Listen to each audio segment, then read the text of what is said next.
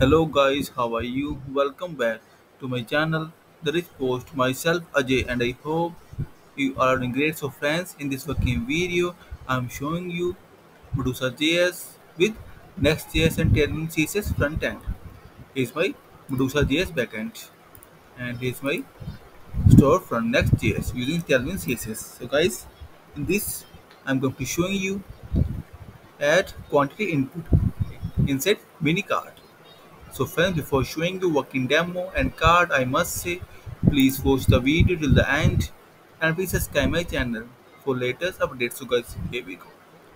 So here is my source. Now I will add to cart and see the mini cart with input quantity. See guys, select two and see the pricing update as well with loader. See guys, delete it, empty, add to cart see the quantity input as well see guys works well see the price changing as well see guys so have you seen? It's worked charm. And guys if you will have any kind of queries session or requirement then feel free to comment on this video. Also please contact me via my blog.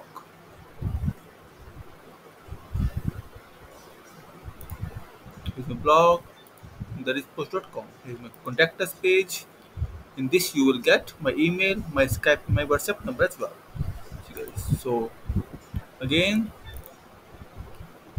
medusa js next.js content minicart adding input quantity input with add and decrease for functionality. So friends in the end i must say thank you for watching this video. Thank you. Have a nice day. Take care. Bye bye bye